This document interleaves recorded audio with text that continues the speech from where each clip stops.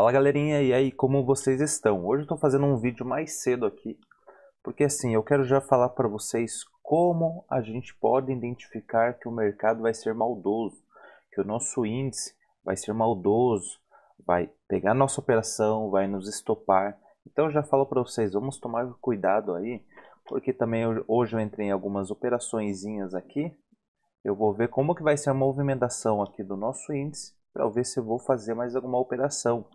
Ou seja, eu já percebi aqui ó, que algumas sombras aqui já vieram, já me caçaram, ou seja, tô com um xizinho aqui, ainda vou ver se eu vou operar. Mas vamos ficar de olhos aí para novas oportunidades. E o que eu digo para vocês, eu fiz a gravação aqui das minhas entradas, eu vou mostrar para vocês agora como que está funcionando hoje. Ontem foi, nossa, foi muito tranquilo, foi muito mais simples. Eu vou explicar um pouco sobre ontem e vou falar também sobre hoje. Então bora lá.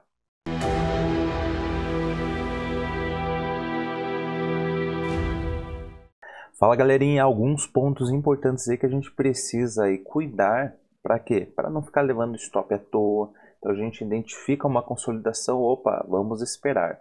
Vamos aqui para o dia de ontem, que eu quero explicar aqui para vocês rapidão. Isso é muito importante. É extrema importância porque em cima desse método aqui, as coisas estão funcionando. Só que a partir do momento que você leva um stopzinho, porque a gente sempre está sujeito a levar stop, a gente tem que prestar atenção no que pode acontecer no mercado né, em seguida. Então olha só, a gente já teve um candle aqui, ó, que teve sombra para cima, teve sombra para baixo. O que aconteceu aqui, ó? Saiu um sidebar e a partir do momento que foi rompido, ele já veio buscar a média de 200, tentou romper, ficou abaixo e retornou, tá bom? Então olha só, aqui nos proporcionou uma venda,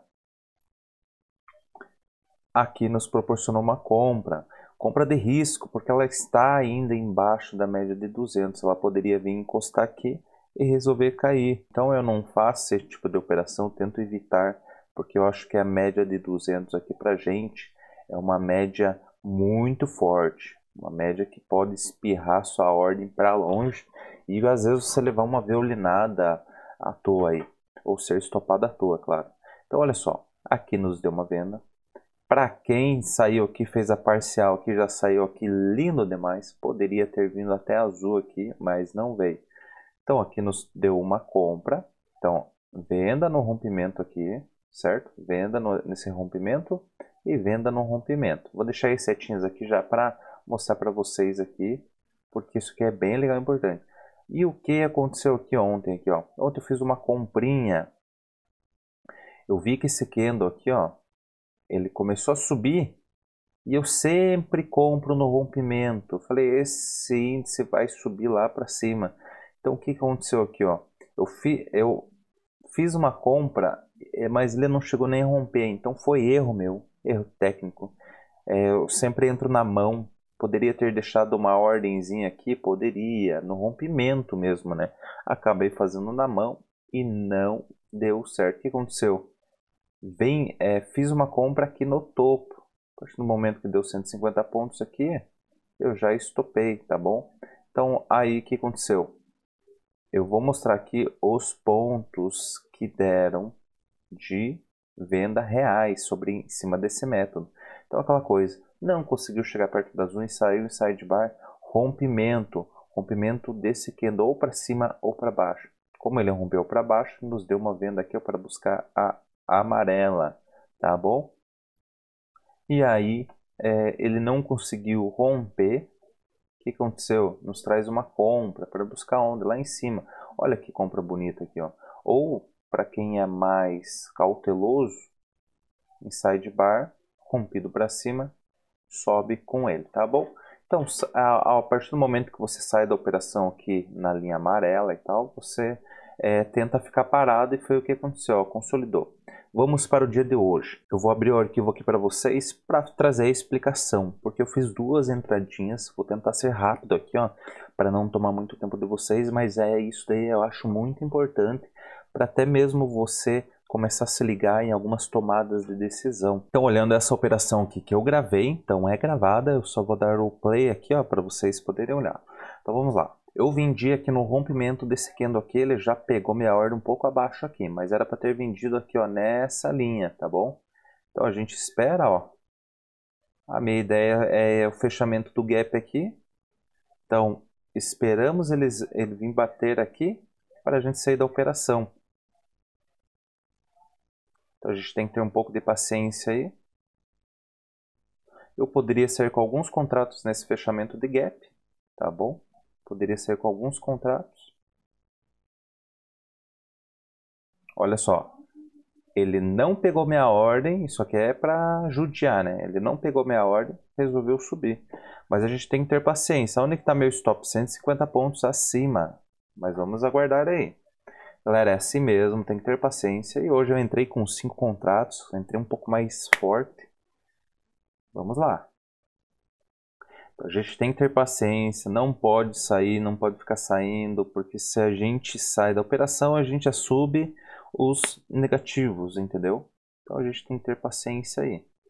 O que não pode acontecer é ele vir e romper esse de bar para cima aqui, né? Porque ele vai puxar novas altas. E aí a gente poderia reverter a mão, mas eu não vou fazer isso.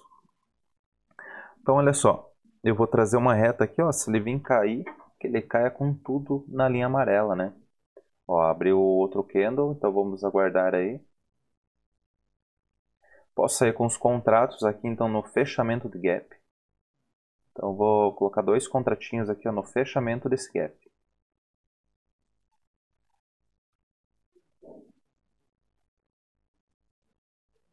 Vamos lá, paciência, paciência. Ou seja, se ele pega meia ordem ali tenta voltar, a gente já deixa no 0 a 0. Então é aquela coisa, perder pouquinho, tá bom?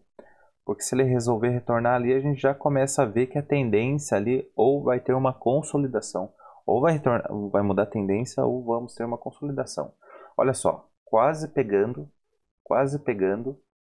Vamos lá. Ó, ah, não é possível, né, cara? Não é possível isso. Ele encostou na minha ordem e ficou na pedra, né? Como falam, né? Ficou na pedra e o que, que eu vou fazer aqui? Olha só. Eu vou deixar no 0 a 0 ali. Porque se ele não fechou o gap, se ele não cair aí agora, ele tem que cair imediatamente, afundar aí, ó. Vai voltar. Ou seja, então é muita gente não querendo deixar fechar o gap. Poderiam deixar fechar o gap ali para retornar a volta todo mundo junto e feliz.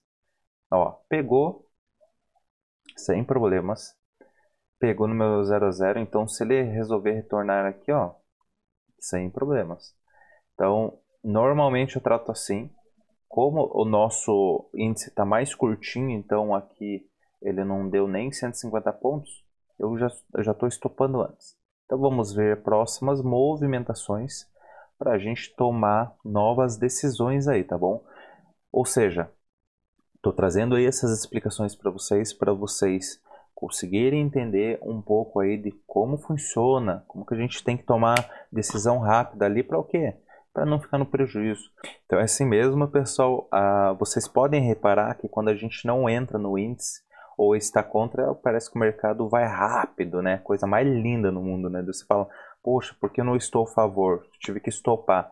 Agora, quando a gente quer uns pontinhos ali, ó, fiquei na pedra ali, é brincadeira, mas isso daí faz parte, faz parte de todo esse processo. Por isso que a gente sempre tem que ter paciência aí com poucos contratos. Ou seja, aqui eu já estava me arriscando com cinco contratos, tá bom? É, mas eu me dou o direito de fazer isso. Por quê?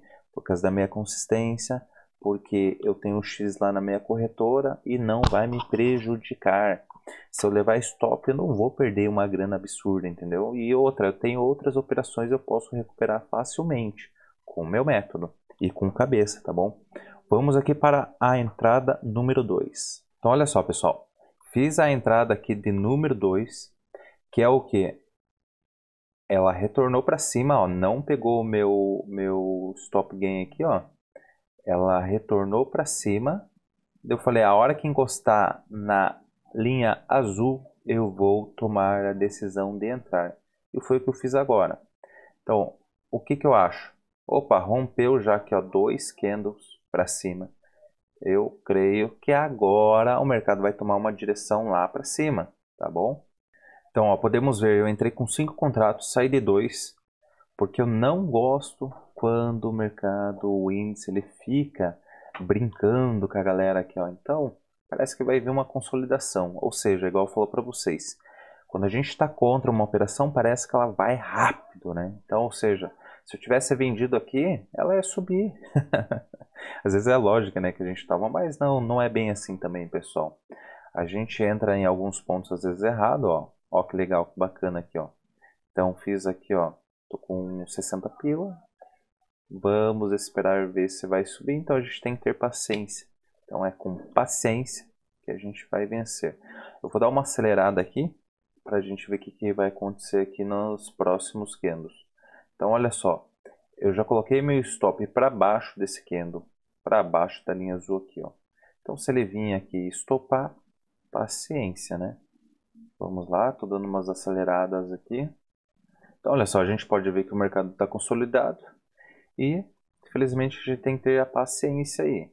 Saí com dois contratos aqui em cima na, na VWAP e agora a gente tem que esperar aí para ver o que vai acontecer tá no meio do caminho, ou pega em cima ou pega embaixo. Lembrando ali ó, que eu coloquei aqui a minha ordem aqui em cima, na linha amarela, para a gente sair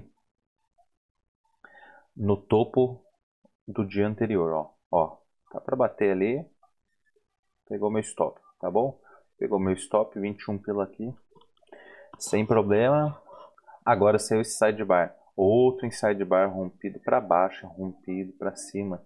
Aí a gente desacredita que podemos entrar em algum ponto que vai dar certo. Então a gente fica desacreditado, tá bom? Ou seja, eu esperei vir nova movimentação. Opa, esse aqui foi rompido. Agora, qual romper esse aqui ou para cima para baixo, eu vou junto, tá bom? Então aqui já entrei com menos contratos, daí a gente já fica mais cauteloso para quê? Para não levar nenhuma violinada, nenhuma estopada, nem nada. Então entrei aqui, ó, fiz uma entrada aqui para buscar a linha azul aqui, ó, média de 21. Poderia ter deixado vir mais, poderia, mas eu, eu acho que hoje não está valendo risco. Ou seja, vamos voltando aqui, ó, a gente pode ver que ele está nessa casinha em cima na, da média de 200. E vai e volta, e vai e volta, então vamos cuidar. Olha só a precisão, né, cara? Ele veio, encostou na linha amarela. Ele veio da linha azul, encostou e foi para a linha amarela. Ou seja, quando a gente entra, parece que não desenvolve. Quando a gente está de fora, que aqui poderia ter dado uma compra, eu gosto de fazer essas compras aqui, ó, e lá para cima. Então a gente tem que esperar novas movimentações. A partir do momento que a gente vê aqui, ó, por exemplo, deixa eu colocar aqui a Vale.